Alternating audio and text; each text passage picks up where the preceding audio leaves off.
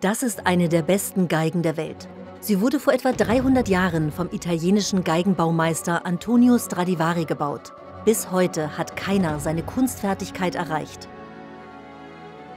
In den Schweizer Alpen sucht Geigenbauer Michael Ronheimer nach dem perfekten Holz, um eine Geige zu bauen, die den Meisterwerken von Stradivari ebenbürtig ist. Um Erfolg zu haben, stützt sich Michael Ronheimer auf die Hilfe moderner Wissenschaft. Schweizer Forscher versuchen die innere Struktur des Holzes zu verändern. Sie wollen so ein einzigartiges Rohmaterial von nie dagewesener Qualität für den Instrumentenbau kreieren. Werden die neuen Geigen dem Klang einer echten Stradivari gleichkommen?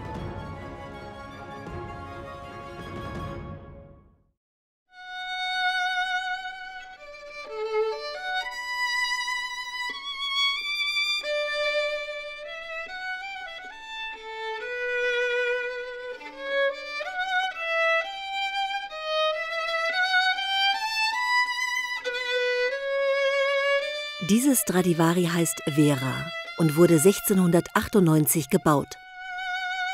Eine gute Geige, die macht alles mit. Das ist wie ein, ein äh, Kristall, der äh, funkelt oder ein Diamant in allen Farben. Der Klang einer Stradivari verzaubert seine Zuhörer. Er ist ein, war einfach ein Genie. Markus Lehmann bekam seine Stradivari, als er 19 war. Ein vielversprechendes Geigertalent, der die Chance seines Lebens bekam, eine der berühmten Stradivari-Geigen zu spielen.